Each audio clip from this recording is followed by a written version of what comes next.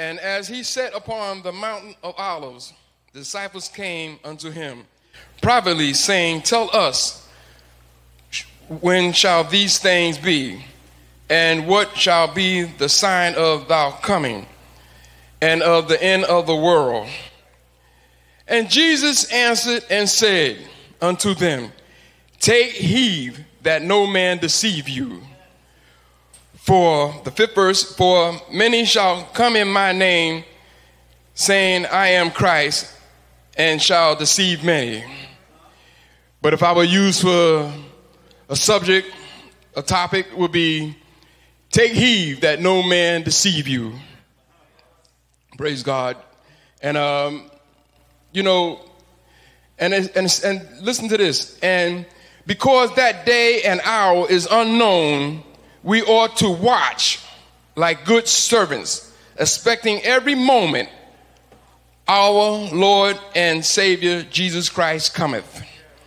Okay, and um, the uh, sixth verse says, And ye shall hear of wars and rumors of wars. See ye that be not troubled. For all these things must come to pass, but the end is not yet. You see what's happening now. We see what's going on in Ukraine. For a nation shall rise against nation, and kingdom against kingdom. And there shall be famines and, and pestilence and earthquakes and in divers places. It's happening now. So many diseases. We had the disease already, the uh, COVID 19.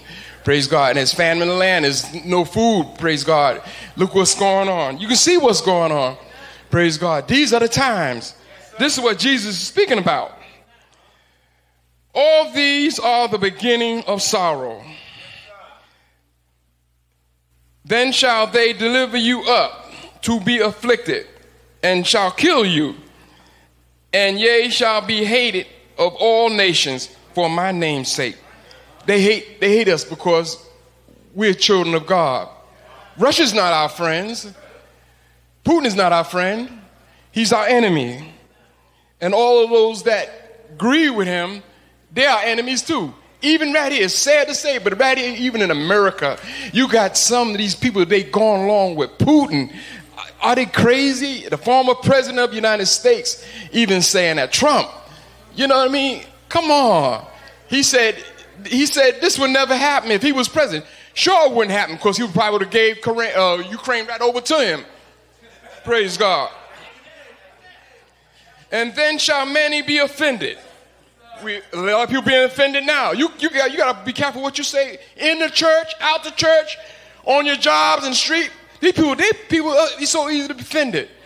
It don't matter. They not even even people do you think that's supposed to be rooted and grounded in the Word of God, and praise God, and they, you know, and speaking tongues and, you know, and everything. And you look and say, why are they so offended? I didn't say nothing. I didn't. It's so offended, stupid stuff. You know, it's really ridiculous. And shall hate one another, and they hate one another. This should not be even me being named among saints. We should not hate one another. We should love one another. Praise God. The world hate one another.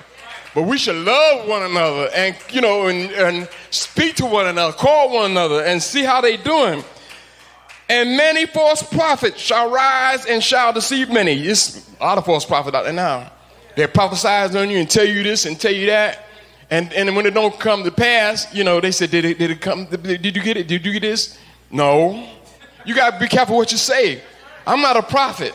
I stay in my lane. I'm not a pastor. I stay in my lane. We got one pastor, one leader. Praise God. We got assistant pastor. Praise God. And I recognize him too. And I recognize his wife. And I recognize Sister Willie too. We got to stay in our lane. And because iniquity shall abide, the love of many shall wax cold. Look at that. The wax cold. Where's the love? Where's the love at?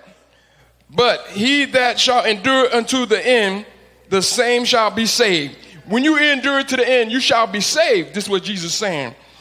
And this gospel of the kingdom shall be preached in all the world for a witness unto all nations. And then shall the end come. This when Jesus said, Then shall the end come. Praise God. And the 36th verse says, of Matthew, the 24th chapter says, But of that day and hour, no man know, no, not the angels of heaven, but my Father only. Jesus don't even know when he's coming back. He don't even know. But he will know when the Father will tell him it's time to come now.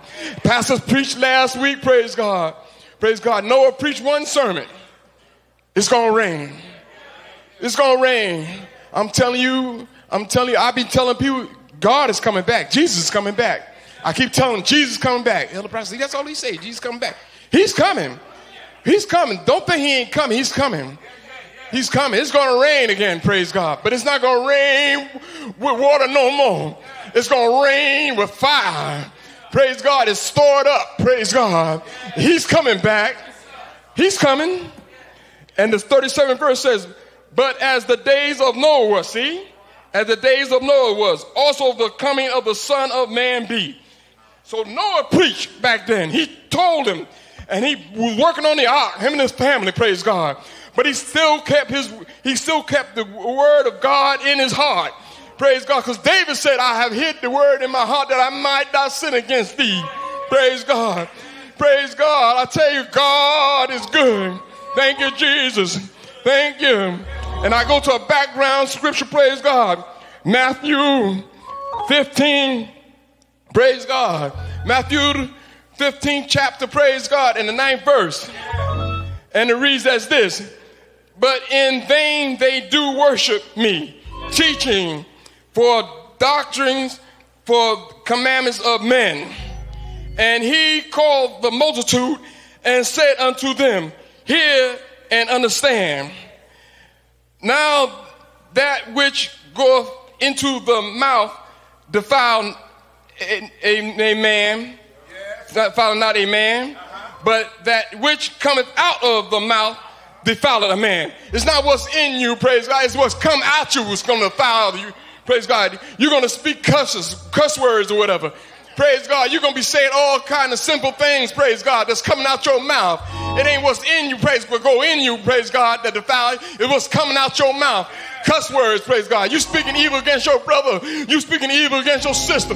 You speaking evil against your loved one. Praise God. You speaking all this, all this simple stuff. And then the 12th verse says, then came his disciples and said unto him, Knowest thou that the Pharisees, now listen to this, the Pharisees were offended after they heard this saying. Now listen what Jesus says. But he answered and said, Every plant which which my heavenly Father have not planted shall be rooted up. Praise God. He didn't, it's going to be another plant but God, going, the Father's going to root that plan up. He's going to root that evil plan up, praise God. And look what the 14th verse says. Let them alone. Jesus said, let them alone. Leave Trump and them alone. Leave them alone. Leave Trump and them alone. Leave them Republicans alone. And some of them Democrats, the two Democrats, always making a, a, a fuss over things. Praise God. Sinema and um, Manchin, praise God. They're always throwing a boomerang, praise God. But I'm going to tell you something. He said, leave them alone. He going to fix it. When God fixes it, it is fixed. Because God got a divine judgment.